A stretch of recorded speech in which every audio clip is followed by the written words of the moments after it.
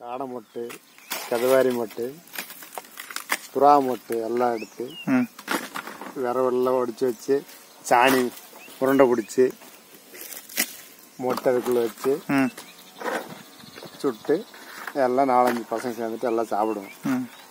அருமையாக இருக்கும்.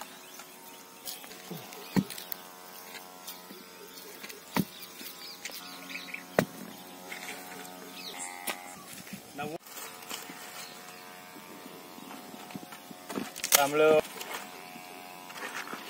ಒಂದೊಂದು ಮರಿನ ಹಂಗೆ ಬೇಯಿಸ್ಬಿಟ್ಟು ತಿನ್ಬಿಡ್ತಾರ ತಿನ್ ಬೆಂಕಿ ಕೆಂಡ ಫುಲ್ಲಾಗಿ ಮಾಡ್ಬೇಕು. ಕೆಂಡ ಕೆಂಡ ನಾಯಿನಾಗೆ ಬೇಯಿಸಕ್ಕೆ ಅದನ್ನ ಸಗ್ಲಿ ಸೌದಿನೇ ತರ್ರಿ ಒಂದವ್ರೆ ಎಲ್ಲ ಇಲ್ಲಿ ನಮ್ಮ ಮನೆವ ನಮ್ಮ ಸ್ವತ ಅವ್ರು ಎಲ್ಲ ತಿಂದ್ರು ಒಂದು ನಾಲ್ಕು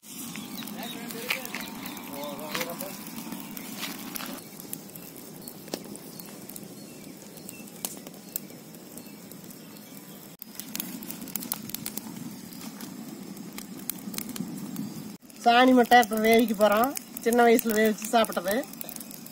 அந்த மாதிரி இப்போ நல்லா சுவையாக இருக்குன்னு நினச்சிட்டு இப்போ செய்யற நம்ம பண்ணி சாப்பிட விட மாட்டாங்க அப்படின்னு சொல்லி. சுடும் சுடும் பார்த்து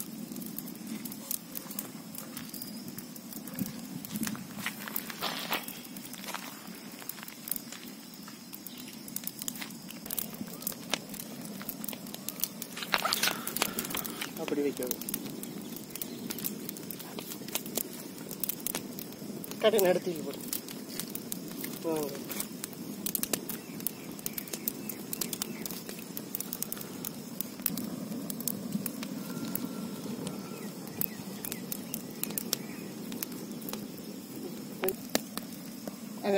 அந்த நேர் மூணு மீட்டர் சென்டரில் போடு. போட்டு ஆ, போடு அப்படி சார் ம்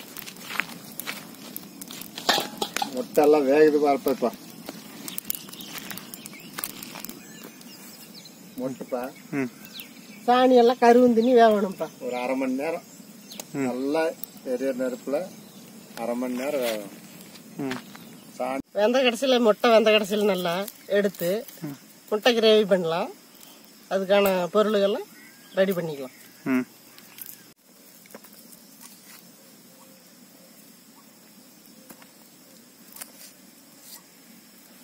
மொட்டை எல்லாம் வெந்து பாச்சு. இங்க எடுத்துடலாம். இருபது நிமிஷமாச்சு எல்லாம் வெந்துருச்சு. கொஞ்ச நேரம் ஆற வச்சு எல்லாம் தொலைச்சி சாப்பிட்டு சூப்பராக இருக்கும். ஆறுன பிறகு அப்புறம் தொலைச்சிடலாம் ம்.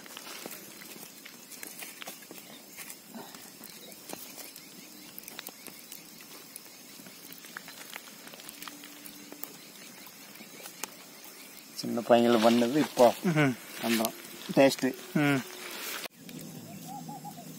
சாணி எப்போ அதனால சாணி மட்டும் எடுத்துட்டா? ம் சாணி மட்டும் எடுத்துட்டு தண்ணிக்குள்ள போட்டு வச்சிருவோம். ஆறிடுச்சுன்னா அப்புறம் நல்லா வரும்.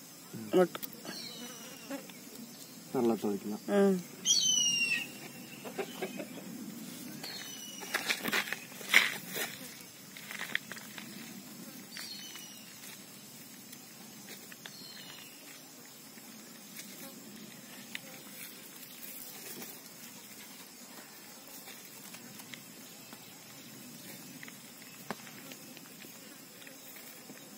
நேரம் ம் ம் ஆறட்டும் ம் ஆறட்டும் அஞ்சு நிமிஷம் விட்டுருந்து தொளிச்சோம்னா நல்லா இருக்கு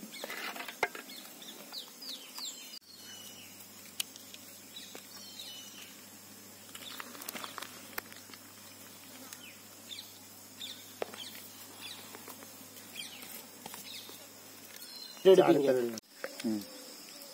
இப்போ அஞ்சு நிமிஷம் ஆச்சு தண்ணியில் போட்டு நல்லா குழுக்குன்னு ஆறி போச்சு இப்போ எல்லாம் தொளிச்சு எடுக்கலாம்.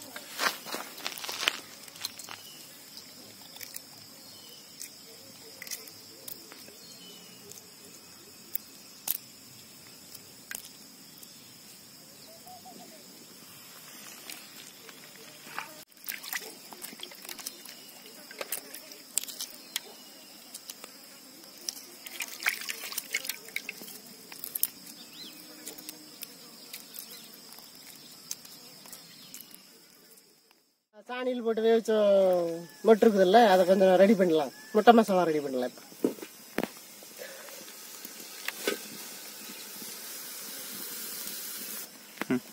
சரி இப்போ நம்ம ஆயில் ஊற்றலாம்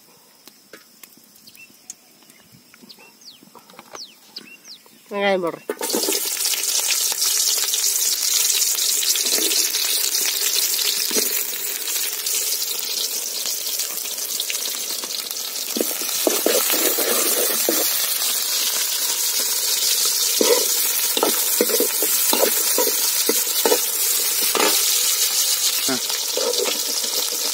பச்சை மிளகாய் ரெண்டு கீரி போட்டுக்கலாம்.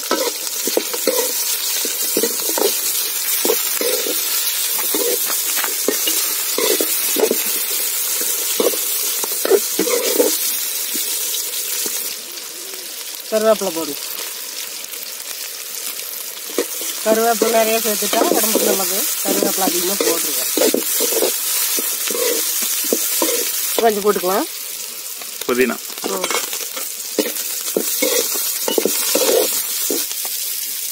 இஞ்சி பூண்டு தட்டி வச்சிருக்கோம் கொஞ்சம் போட்டுக்கலாம்.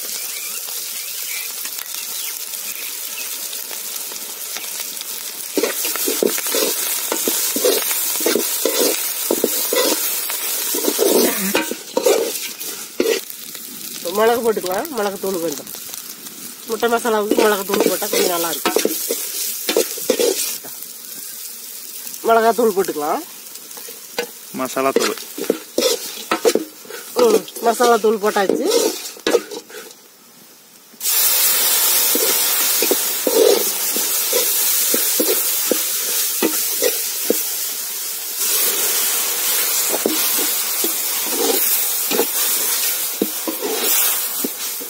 கொஞ்சம் தண்ணி ஊற்றிக்கலாம் உள்ளே ஊற்று தேவையான அளவு உப்பு போட்டுக்கலாம்.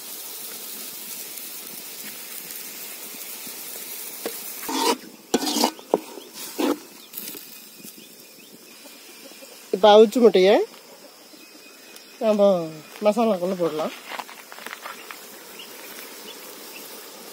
கட் பண்ணி வச்சுருக்கிறேன் மசாலாக்குள்ளே போட்டோம்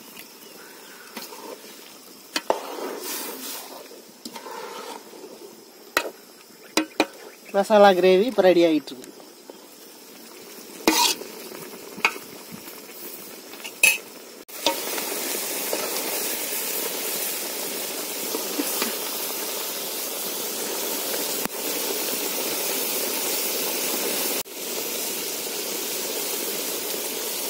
கிளறணும் முட்டை மசாலா ரெடி ஆயிடுச்சு போய் அரைக்கிடலாம்